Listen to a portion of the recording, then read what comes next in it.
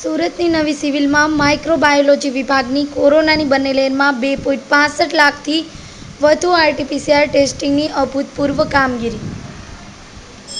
જીવના જોખમે કાર્યરત તબીબો અને ટેકનિશિયન સ્ટાફ દ્વારા દૈનિક પચીસોથી ત્રણ હજાર સેમ્પલનું ટેસ્ટિંગ. કોરોના કપરાકાળમાં ઘડિયાળના કાંટાઓ જોયા વિના માઇક્રોબાયોલોજી મહિલા કર્મીઓએ બારથી પંદર કલાક કામ કર્યું. આરટીપીસીઆર લેબમાં નેવું ટકા મહિલા કર્મયોગી કરી રહી છે કાર્ય.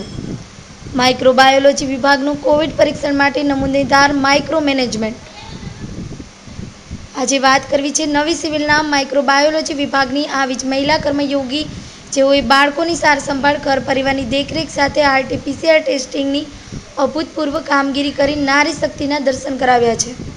તેમણે કોરોનાની બંને લેનમાં બે પોઈન્ટ લાખથી વધુ આરટીપીસીઆર ટેસ્ટ કર્યા છે. અને કોરોનાની સારવાર માટેના પ્રથમ પગલાંરૂપ ટેસ્ટિંગની કામગીરી માટે ઘડિયાળના કાંટાઓ જોયા વિના બારથી પંદર કલાક કામ કર્યું છે. કામનું ત્રણ શિફ્ટમાં વિભાજન હોવા છતાં કામના ભારણના લીધે ઓવરટાઈમ કરીને પણ ચોવીસ કલાકમાં તબીબોની રિપોર્ટ સુપ્રત કર્યા છે.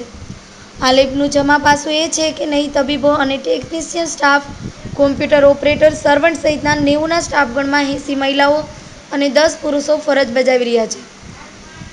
સ્ટાફમાં નેવું ટકા મહિલા કર્મયોગી છે, જેઓ આરટીપીસીઆર ટેસ્ટિંગ લેબમાં જીવના જોખમે કાર્યરત કરે છે અને દૈનિક પચીસોથી ત્રણ હજાર નમૂનાઓનું પરીક્ષણ કરે છે. દર્દીનો કોરોના રિપોર્ટ પોઝિટિવ કે નેગેટિવ આવ્યા બાદ ડૉક્ટરની ભૂમિકા શરૂ થાય છે.